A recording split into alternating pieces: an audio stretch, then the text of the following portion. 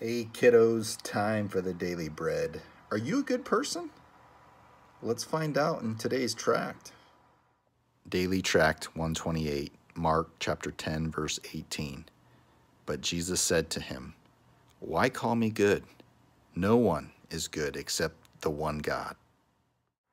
Kids, what an outstanding message. Jesus was called good by a man, and he recalibrates our understanding of what good means.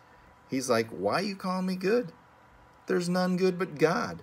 Jesus is reminding us that good means moral excellence, it means perfection.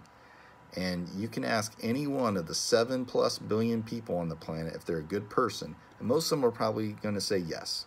But we're not good. We're not perfect. That's why we need Jesus and to repent and to cleanse ourselves of sin. We are not good people.